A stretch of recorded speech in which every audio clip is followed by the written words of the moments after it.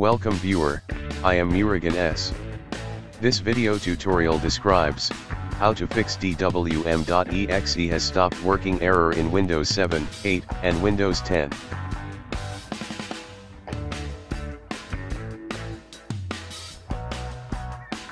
Type CMD in Windows search bar.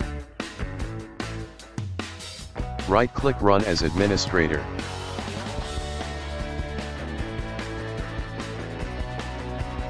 Click Yes to continue. Type SFC space forward slash scan now.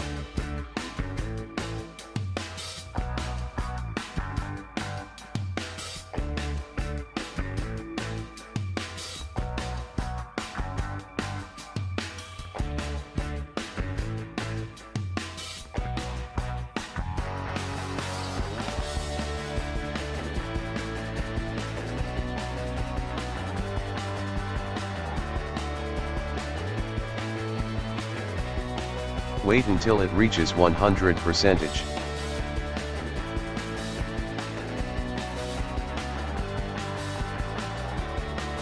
After completes 100 percentage, restart your system.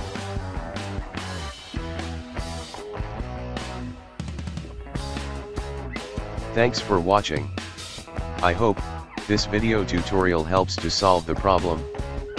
Please like, share and don't forget to subscribe my channel. See you next video.